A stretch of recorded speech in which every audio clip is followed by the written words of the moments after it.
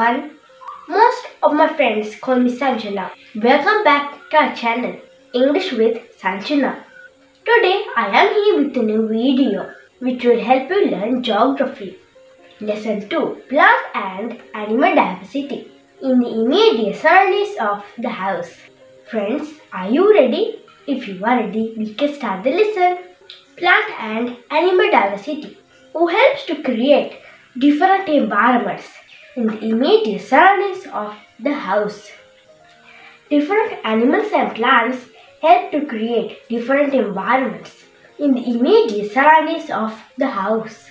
Diversity of plants in the immediate surroundings of the house. Diverse kinds of plants exist in various ecosystems in Sri Lanka. Because of the nature of the land and climate conditions, various ecosystems that can be found in the immediate surroundings. Coastal ecosystem, mangrove ecosystem, inland aquatic ecosystem, natural forest ecosystem and natural grassland ecosystem. Plants are very useful for the existence of living beings. Look at this diagram. Here are some benefits that we gain from plants and the effects on the environment. Purification of the atmosphere. Contribution for natural beauty. Providing food and habitats for animals. Making the environment cool. Supply of timber for manufacturing furniture. Giving shade. Providing fuel. Supply of timber for the constructions of buildings. Providing food and medicine. What can you say when you observe a home garden in a rural environment and an urban environment? In terms of the density and the diversity of the plants, you may find plants in abundance in a rural environment. You may not find plants in abundance in an urban environment, but you can beautify the immediate surroundings of your house by growing plants. What are the things that you should take into consideration when you select plants to beautify your home garden? We should consider the beauty of the plants. We should consider whether they are suitable for the environment. We should consider whether they are suitable for the health of the man. There are some plants, they are poisonous. They are not good for the health of the man. That's all for the lesson on plant diversity. Now let's move on to learn about animal diversity. Look at this beautiful picture here. You can see various species of animals, but they face many challenges. What are the main challenges that the animal species that live in our immediate surroundings of our home face? The hot sun, rain, threat from enemies, threat from diseases. Animal community is also very important for the existence of man. Diversity of animals in the immediate surroundings of our home. In our environment, we can see various species of animals such as cat, dragonfly, different types of birds, squirrel, dog, butterfly, chameleon, spider, iguana and giant squirrel. You may also notice some special kinds of birds in the environment of our house during certain periods of the year. You can see the koha bird or the Asian koel during the Sinhala and Tamil New Year festive season. Sometimes we see some birds migrating to our country during the winter season.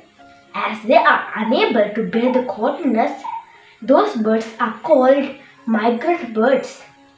Some examples for such birds are Indian pitta, paradise flycatcher and Sivaruhara. As I told you, animal community is also very important for the existence of man. Are some benefits that we gain from animals. Crow pheasant. destroys the snails that harm the crops. Earthworm contributes to loosen the soil and to enrich it. Bat helps in the propagation of seeds. Parrot adds beauty to the environment. Termite breaks down the waste materials and helps decay. crow eats waste materials. Dragonfly destroys insects that harm paddy fields. Look at this activity. Classify the animals you find in these pictures under the categories given in the following table. Cobra, bee, owl, python, butterfly, rat, mosquito and bat. Insects that help in pollination, bee and butterfly. Animals that spread diseases to man, rat and mosquito.